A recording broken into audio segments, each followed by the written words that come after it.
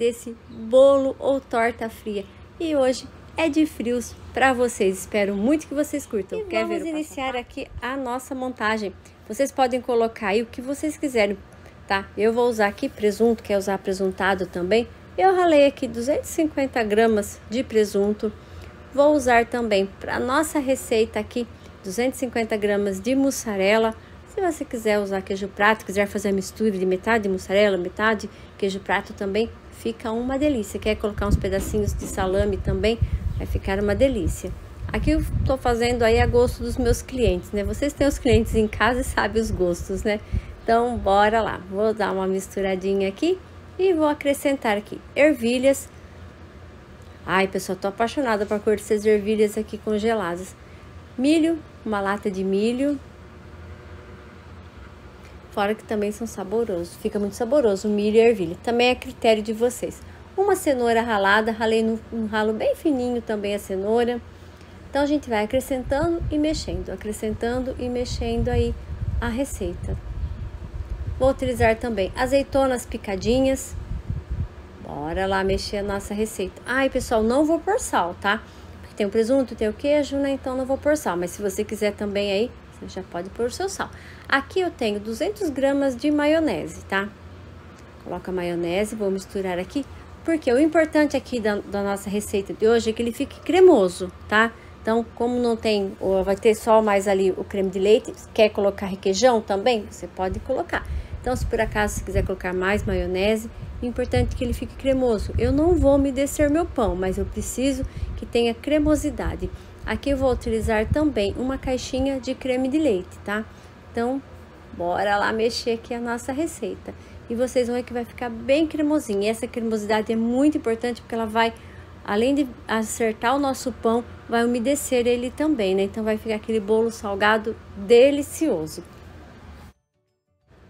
E agora aqui, por último, a cebolinha. E aí, a cidade que vocês moram, é torta ou é bolo salgado? Aqui a gente tem costume de falar bolo salgado. E vocês aí, a região de vocês, acho que depende muito da região, né? Então, bora lá também. Ah, e acrescentei aqui orégano que eu gosto, mas pode ser pimenta do reino ou outras pimentas aí que vocês gostam. Fica a critério de vocês. E aí, qual que é a dúvida minha aqui? É bolo ou é torta? Aqui então a gente tem o costume de falar bolo salgado. Então bora lá montar o nosso bolo salgado de hoje de frios. Frios com legumes, né? Vamos falar assim. E fica uma delícia. É muito importante deixar bem cremosinho, tá? Então se precisar de mais, aí ou maionese, ou creme de leite, ou requeijão, fica vocês coloquem aí também. E aqui já coloquei pão e vou começar aqui a montagem, tá? Até chegar no topo aí.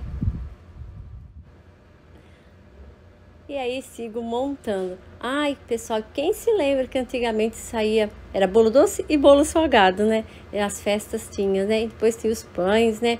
Então, é, com carne moída, ai que delícia, né? Então, tem as tradições ainda. E muita gente gosta ainda de fazer bolo salgado aí para festa ou para comer no lanche da tarde. Olha que sugestão deliciosa.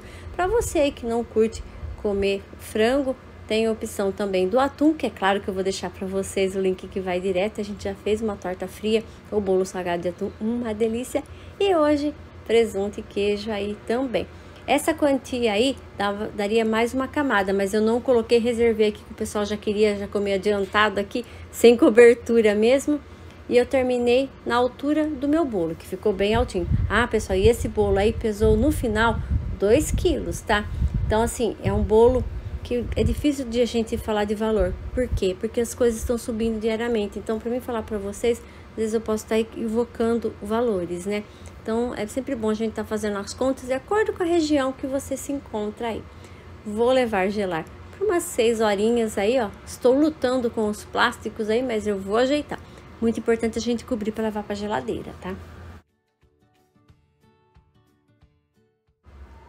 E olha aí, pessoal, resultado de hoje. Ah, quer mais receitas de bolo salgado? Deixa aí para mim nos comentários, que é claro que eu vou fazer aí para vocês. Olha como ajuda bastante a gente voltar aí para nossa forma. O bolo fica perfeitinho e facilita na hora de decorar. E olha que lindo que ficou. E com certeza, vocês podem ter certeza, ficou bem recheado. Na hora que eu cortar, vocês vão ver. Fiz um purê bem simples que eu deixo aí para vocês também. batata cozida, coloquei maionese, creme de leite, mas pode ser requeijão. E vou passar aqui em volta de todo o bolo. Não vou... E olha nosso bolo, que lindo que ficou aí, só passado. E aqui, com o bico 4B, vou fazer um trabalhinho na base. É o mesmo purê, vocês podem ver que se vocês quiserem fazer um trabalho, também dá super certo. Eu espero muito que vocês curtam. Na parte de cima também vou fazer o mesmo trabalho, um E para lá, um Ezinho para cá, ó. Esse mesmo trabalhinho que eu faço nos bolos de chantilly, estou fazendo aí para vocês aí com o nosso purezinho de batata. Quer colorir? Também dá super certo.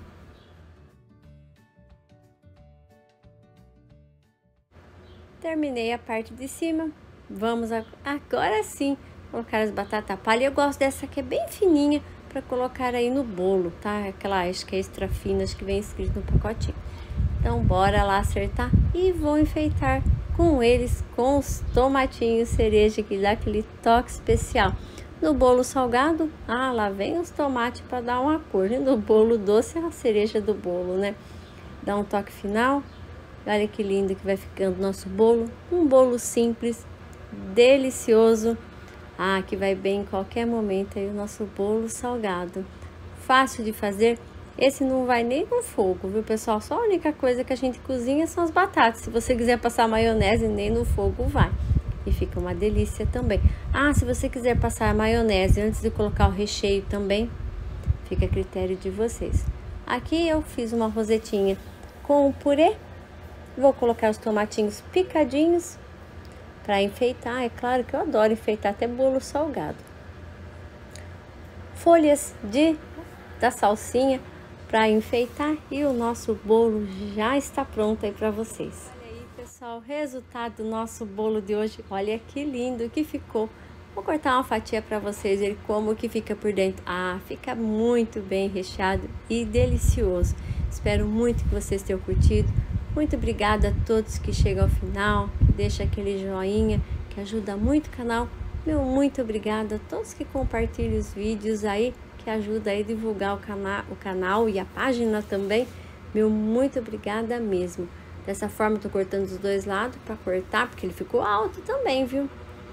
E assim eu tiro aquela fatia linda e deliciosa aí para vocês. Puxei um pouquinho para sair do lugar ali, para ver certeza que eu tirei tudo, né? Ah, senão eu derrubo a fatia, né? E olha a nossa fatia de hoje, mega saborosa, mega recheada para vocês. E olha aí, pessoal, resultado de hoje da delícia. Muito obrigada a todos. Fiquem com Deus e até um próximo vídeo, pessoal.